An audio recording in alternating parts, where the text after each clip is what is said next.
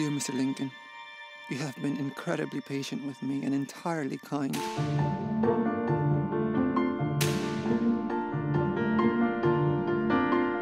First things first, we mustn't walk the grounds of the estate. We can't risk being seen. Second, there's no electricity, so the majority of our work must be done during the day. And lastly, you must trust me.